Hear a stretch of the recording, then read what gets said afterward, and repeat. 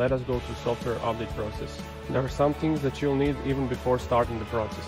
Your mobile phone with the hotspot configured as I mentioned earlier. Your bike's battery should not be above 90% and you'll also need the charger of the bike.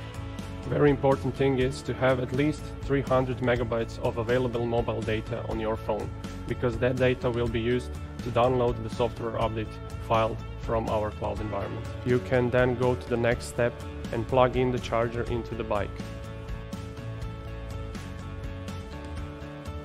Once you have plugged in the charger, the display will show it.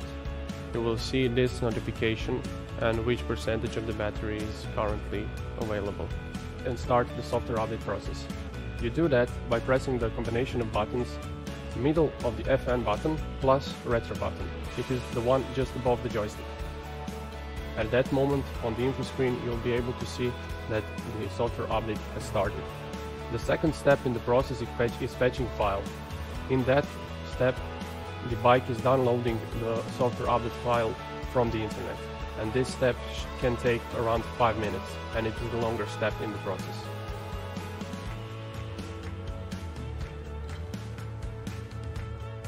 Step 4 of the process is flashing. In this step the new file is being installed onto one of the partitions of the bike.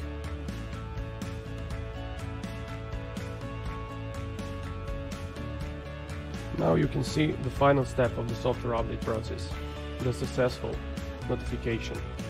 At this point, the, proce the process has ended and all you need to do is press any button to reboot the bike. After the bike reboots, you will be able to see on the info screen that it has the newest software version installed.